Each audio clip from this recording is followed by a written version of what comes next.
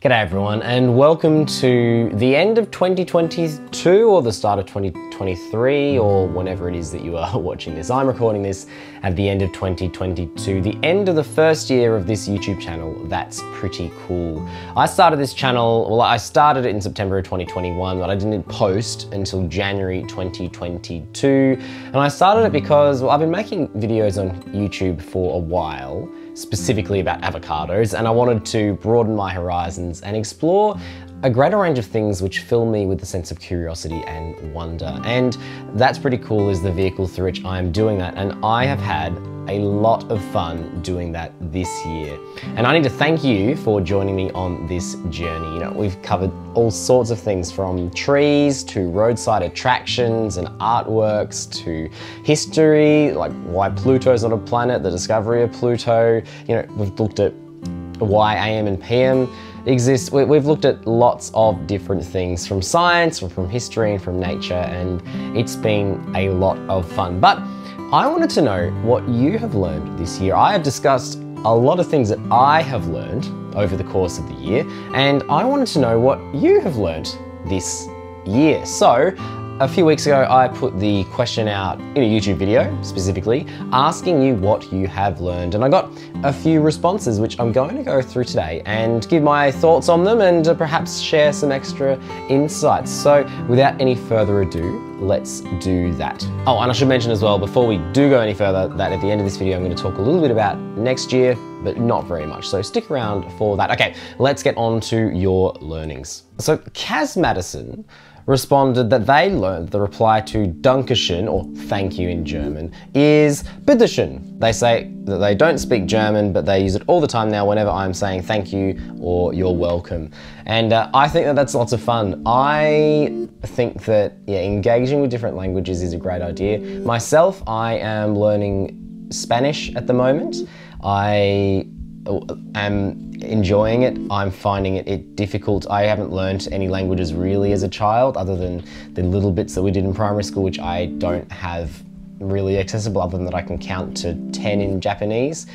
Um, but I am really enjoying learning Spanish and engaging with that. I've been learning for a little bit over a year now. And yeah, learning greetings in different languages I think is really nice. If you're traveling to different countries, I think it's polite you don't need to be conversational because that takes a really long time, but to be able to at least use basic greetings I think is lovely. And having being able to say you're welcome in response to someone's thank you is nice. In Spanish, by the way, when someone says gracias or thank you, the response is de nada or you're welcome. So Dankeschön in German, the response is bitteschön. And I apologize to any Germans who are watching this because I'm sure my pronunciation, especially with the umlauts, uh, wasn't quite right. And thank you, Kaz, for sharing your learnings. I think that it's lovely to engage with different languages. Goggles M95 writes that I learned in 2022 that despite what's often shown in movies, book historians often don't wear gloves when handling old manuscript. This is because gloved hands tend to be less dexterous and are more likely to cause tears to the fragile paper than the naked hand. And this is something which I have found to be really interesting as well. If you've seen people handling old things, such as in museums or on YouTube channels, uh, you'll often see that they are using gloves to handle these ancient artifacts. And there's a number of reasons why they would do that. First is that they don't want to cause any physical damage, uh, and they also don't want the chemicals from our fingers to eat away at the material that the artifact is made of. There are oils and there are things that we come in contact with. Our hands are really are filthy and touching things can over time cause degradation, which is partly why we would use gloves when handling very old things. But when using manuscripts or reading old books, that isn't really the case. And I think this is really lovely. You can see this is an example if you head over to Brady Haran's channel, Object activity where he goes into all sorts of really old and cool objects from throughout history. And you'll notice like in this video where he's looking at moon books, that when he's handling the books themselves, like the, just holding the books with the covers, he's using gloves. But as soon as it comes to turning the pages, the gloves are off and he's using his bare fingers. Now, why would we do that? Well, old paper is very fragile. And when you're wearing gloves, you are less dexterous. Imagine, you know, it's not quite the same, but if you're trying to read a book while wearing gardening gloves, it's not quite the same, but it's the same kind of effect to a lesser degree. And with this very, very old, fragile paper, that can be a problem. Also with cotton gloves, there are you know, little fibers and they can actually get into the tiny tears and make them bigger in old books. And that can be a problem. They can also, you know, dust can be abrasive that the gloves come in contact with, and that can be very damaging to old books. The book historians will, yeah, take the gloves off to turn pages in old manuscripts or old books in order to minimize the damage. They do make sure that their hands are clean and that they're not using any uh, creams or anything on their hands. They are clean They've often used like alcohol wipes to uh, make sure there's nothing on their hands to make sure it's as clean and dry as possible because any moisture, anything like that, any oils will cause damage to the paper. So they want to minimize that. There's a link to a National Trust article in the, uh, the, the sources for this video below if you want to find out more about that because I think it's interesting. Also, I've included a link to Brady Haran's channel because I think it's cool.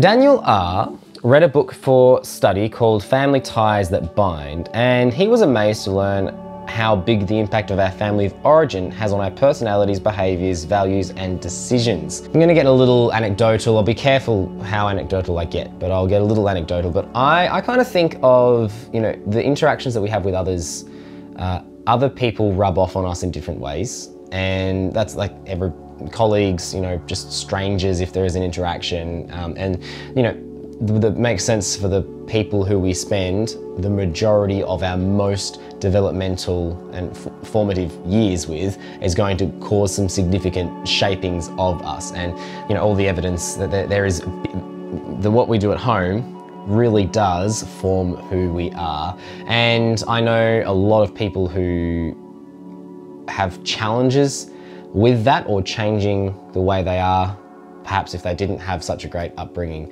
I'm very grateful for my family, my parents. I am really grateful for the way that they brought me up and you know most of the things that I do, um, I've really continued because I like them and I think that they're valuable and I'm really grateful. But I know uh, from friends and also from people who I've worked with, students, that that's not always the case and breaking away from the habits and the personalities that our home life gives us can be very challenging.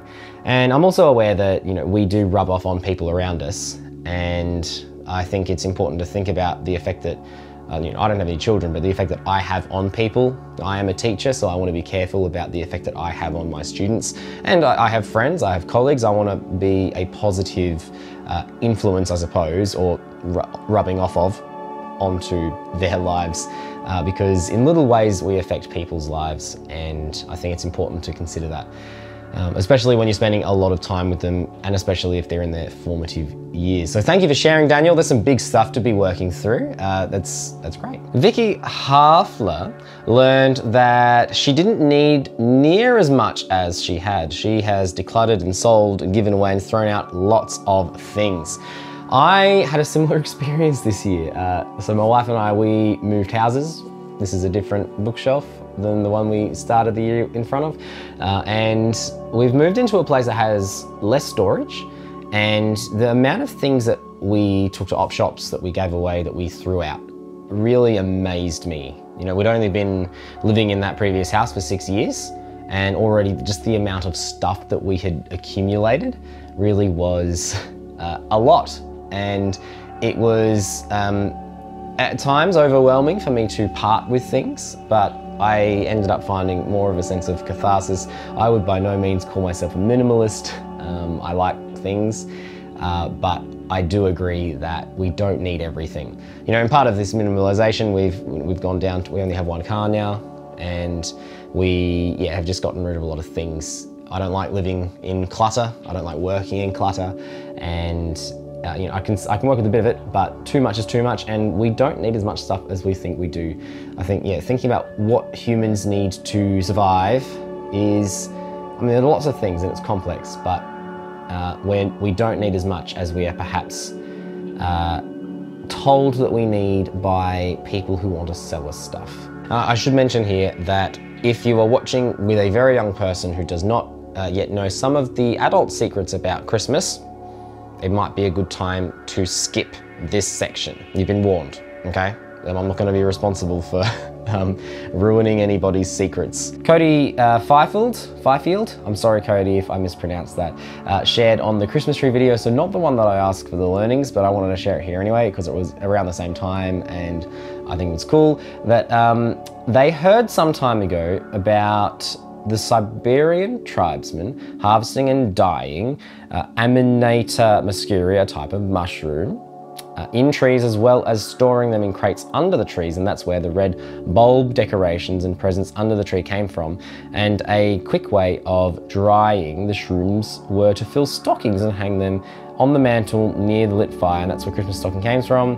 Uh, not sure how any of that relates to Christmas exactly, but I thought it sounds believable, interesting, and it, it does sound plausible. I don't know if it's true. It sounds like you don't know if it's true either. Um, we hear these things often that we that sound plausible but actually aren't grounded in reality. I haven't uh, gone and researched that specifically. Uh, but that might be something that I will look into in the future. Anyway, uh, Cody goes on to add that the reindeer would eat the Amanita muscaria and the tribesmen would collect the reindeer urine to drink to enhance the hallucinogenic compounds, and the Siberian tribesmen who ingested it then hallucinated into thinking that reindeer were flying.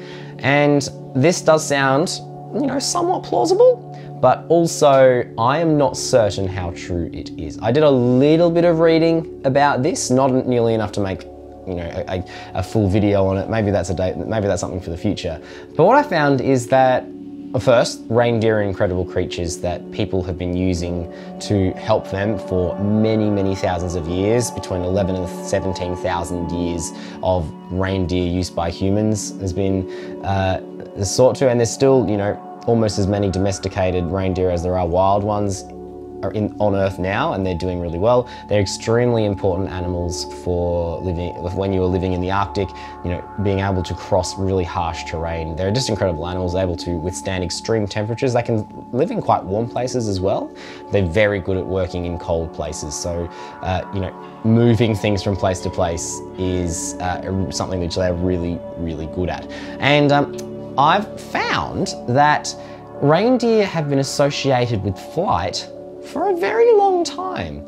Um, there are, there's some evidence of Mongolian mummies, so mummified remains in Mongolia, having artworks of reindeer in flight from over 3,000 years ago. And I think that's pretty cool that um, I'm not sure why, I haven't, I need to do some more research, but it seems that, you know, at some point, um, we, we humans started thinking of reindeer as being flying creatures. And certainly, you know, with the commercialization of Christmas, including Santa with that, um, that part of the folklore has really exploded as you've seen.